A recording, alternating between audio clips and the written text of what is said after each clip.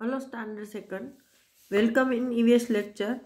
In previous lecture we have completed our chapter number 12 festivals and celebrations and now I am going to discuss about the key terms. First one is festival. What is festival? A special day or time for celebration. मतलब festival क्या है तो कि एक अलग दिवस दिन है या फिर अलग टाइम है जो कि हमारे लिए खास होता है जिस दिन या जिस वक्त हम सेलिब्रेशन करते हैं। Now next one is national festivals festivals celebrated to recall and show respect to great historical events of our nation. Festival celebrated to recall मतलब फेस्टिवल जो मनाया जाता है किस लिए? तो के रिकॉल मतलब याद करने के लिए। एंड शो रिस्पेक्ट एक तो याद करने के लिए और इज़्ज़त देने के लिए। किसको? तो कि great historical events of our nation हमारे देश में, हमारे देश के इतिहास में जो महान घटनाएँ हो चुकी है, ऐतिहासिक, उनको याद करने के लिए और उसको रिस्पेक्ट देने के लिए जो हम सेलिब्रेशन करते हैं, उसको नेशनल फेस्टिवल्स बोला जाता है। ओके वापस थोड़ी बड़ी डेफिनेशन है, इसलिए वापस समझा रही हूँ कि हमारे देश के रिलेटेड हिस्ट्री में जो एक महान कुछ घटना या इवेंट्स जिसको इवेंट्स बोलते हैं, घटनाएँ हुई है, उसको याद करने के लिए और उसको इज़्ज़त देने के लिए रिस्पेक्ट देने के लिए जो हम फेस्टिवल सेलिब्रेट्स करते हैं, उसको नेशनल फेस्टिवल बोला जाता है।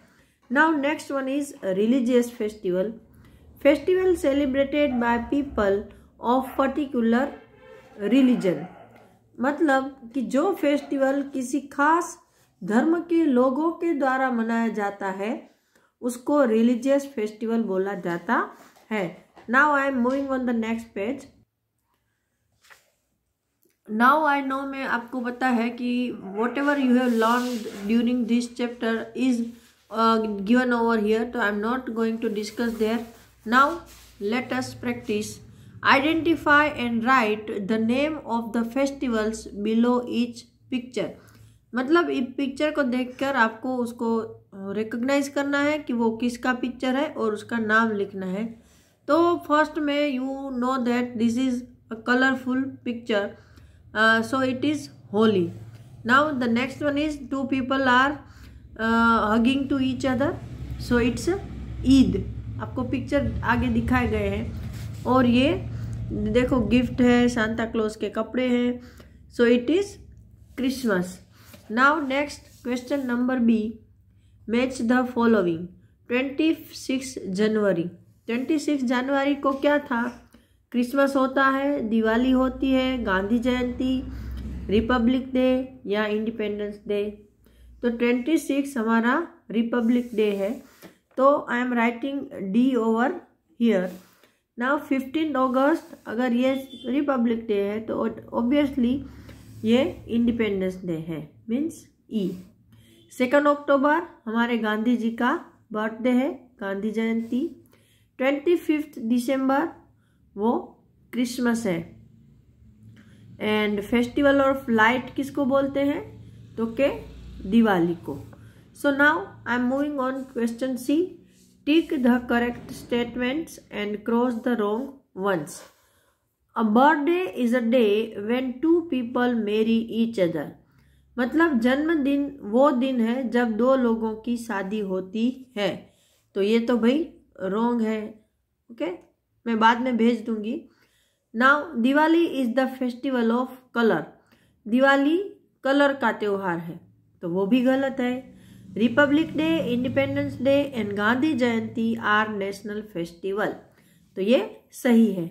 Eid is celebrated after Ramzan Ramzan के बाद ईद का त्योहार मनाया जाता है तो ये भी सही है। Dussehra marks the birthdays of Sikh gurus Dussehra है, वो सिख गुरुओं का जन्मदिन दिखाता है तो ये भी गलत है okay now question number D answer the following question which state of india celebrate onam? Okay, i have just skip one thing over here. मैं आपको बता दूँ, यहाँ पर एक, ये देखो डू यू नो में, क्योंकि उसके रिलेटेड क्वेश्चन आया ना तो मैं ये आपको एक्सप्लेन करना भूल गई। Many festivals are also celebrated in different parts of India मतलब इसके अलावा भी भारत के अलग अलग हिस्सों में अलग अलग त्योहार मनाए जाते हैं। लाइक ओनम इन केरला केरला जो स्टेट है, वहाँ पर ओनम का त्योहार मनाया जाता है। इन पोंगल इन तमिलनाडु और जो तमिलनाडु स्टेट है, वहाँ पर पोंगल का त्यौहार मनाया जाता है। ये फ़सल के रिलेटेड त्यौहार है, जिसमें लोग धान पकाते हैं और ये ओनम में और इसमें फिर वो उस अपने जो बैल होते हैं, उसके जो हॉर्न्स होते हैं, उसको कलर करते हैं और ऐसे फेस्टिवल है कि लोग खुश होके नई फ़सल की बधाई के लिए ये सब करते हैं। Okay now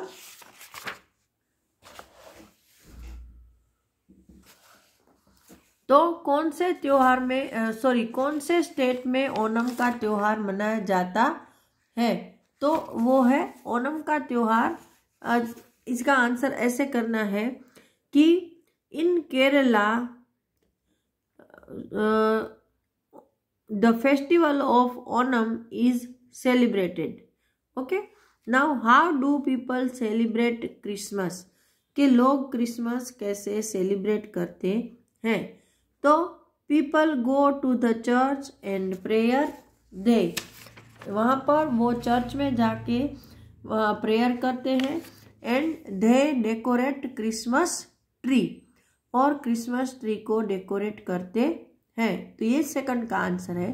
Now third describe any one national festival of India कि कोई भी एक नेशनल फेस्टिवल जो इंडिया का है उसको सेलिब डिस्क्राइब करो मतलब उसका वर्णन करो।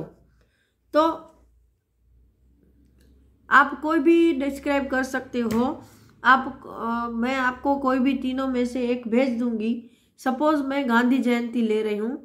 तो Gandhi Jayanti is the birthday of Mahatma Gandhi and in this day our prime minister president and other जो हमारे इम्पोर्टेंट पर्सनस हैं they are going to the uh, Rajghat means the uh, monument of Mahatma Gandhi Mahatma Gandhi की जो समाधि है memorial uh, है उसके वहाँ जाते हैं they offer prayers and flowers over they कि गांधी जी के यहाँ पर ये सब वो लोग देते हैं।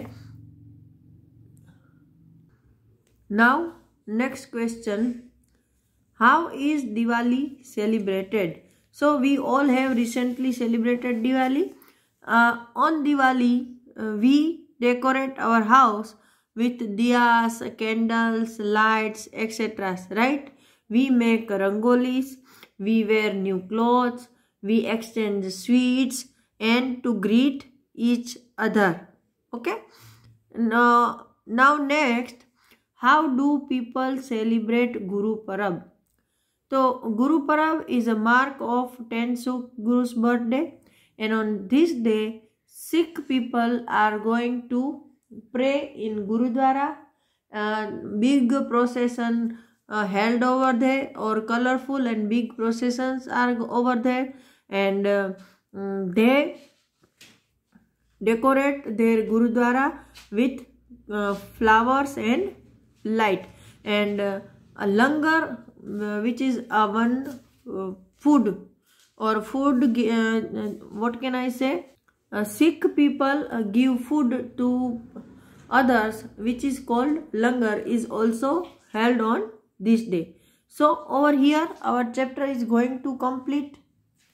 Now, only one horse is remaining over there. Avi bought new clothes for himself. He had also decorated his home with diyas, light and flowers. Which festival is celebrating? Write more about it. So you all know that it is a festival of Diwali, right? So now I am going to complete my lecture over here and in next lecture we will meet again. Till that time goodbye everyone